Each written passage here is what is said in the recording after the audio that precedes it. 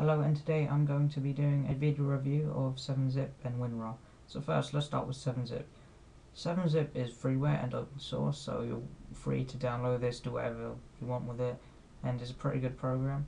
While WinRAR, um, I have the trial installed at the moment so I can only use it for 30 days and after those 30 days are up I'll have to pay $30 for it.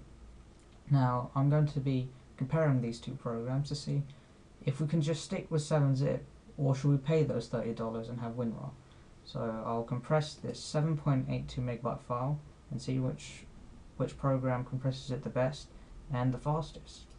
So let's start with WinRAR. So first we have to add it to the archive and I'm going to be archive format is RAR and the compression method is going to be the best.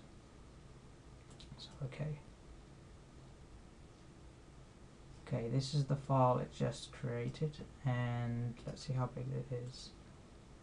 It is 7.31 megabytes. Now that is an amazing compression.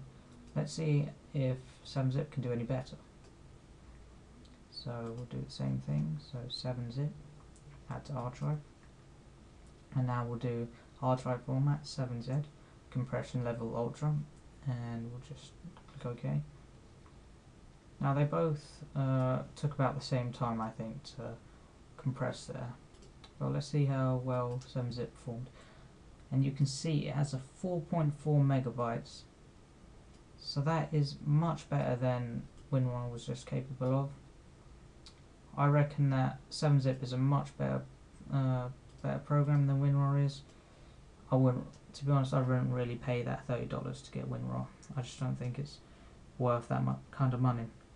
And if you wish to download any of these programs and try try out for yourself, uh, go to their website. There'll be a link in the description. Also, I've never had any problems with 7-zip before, but when I used to use WinRAR, uh, I had so many problems that I just uninstalled it straight away. Uh, thanks for watching, and be sure to rate, comment, and subscribe. Tech Amigos. Tutorials, news, and reviews.